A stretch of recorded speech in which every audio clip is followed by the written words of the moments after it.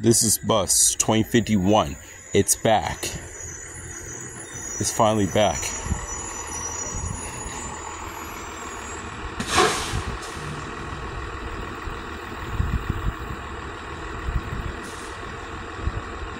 Two thousand Thomas FS sixty five with the five point nine Cummins engine.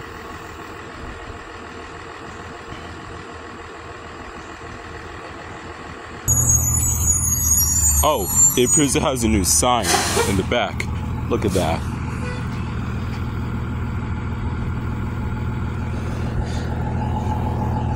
And still equipped with the incandescent light monitor.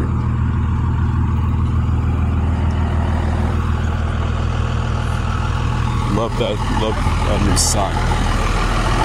But yeah, like I said, it's 2000 Thomas FS65. 5 Cummins.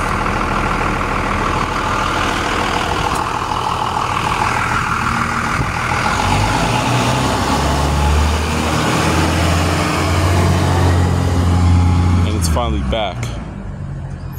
An IC3911, which that's a 2024 ICC with the Cummins B6.7. 2051 is, like I said, a 2000 Thomas FS65 with the 5.9 Cummins.